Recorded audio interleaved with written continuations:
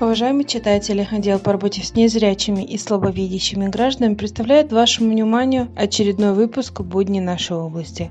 Газета «Наша газета» за номером 18 от 4 мая 2023 года. Когда рта не раскрыть, о чем говорят щелчки в челюсти, чем они опасны. Казалось бы, что такого в том, что челюсть иногда хрустит и щелкает при открытии? Врачи говорят, что если появились хрусты и щелчки, надо экстренно бежать к стоматологу, ведь это очень тревожный признак. Когда начинает хрустеть и щелкать челюсть, сразу же надо заподозрить проблемы, даже не с зубами, а с челюстным суставом. Игнорировать щелчки и проблемы с суставом не лучшая идея. Ведь если не лечить, со временем могут быть три варианта проблем, начавшихся из-за дисфункции сустава.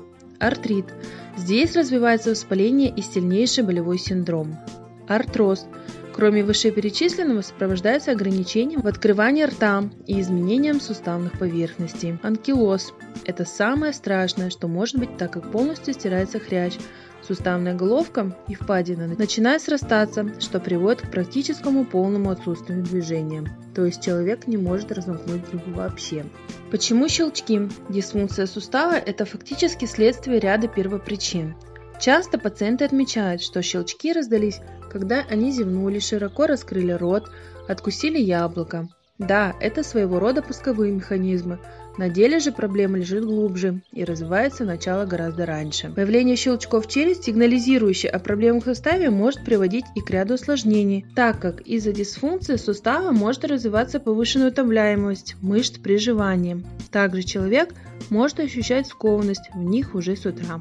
Что делать? Ни в коем случае не игнорировать. Сразу же надо обращаться к врачу-стоматологу. Специалист проведет комплексное исследование. В него входят следующие методы. МРТ сустава, причем выполняется томография как с открытым, так и с закрытым ртом. Ведь здесь надо посмотреть, как расположены мышцы, связки, как расположен диск, как меняется его положение при открывании рта. КТ – это необходимо для оценки костных составляющих, структуры костей, височной и нижней челюсти. Анализ зубочелюстной системы. Изучается положение зубов, Проводится кондилография исследования, определяющая, какие есть движения в суставе, какие из них патологические и неправильные какие правильные. Как исправить? План терапии – ситуации, когда начинает щелкать челюсть, включает в себя несколько этапов. Первое – это в любом случае профессиональная гигиена полости рта, санация. Следующим шагом становится сплин-терапия. С помощью специальной пластины улучшает тонус мышц, делает его более правильным.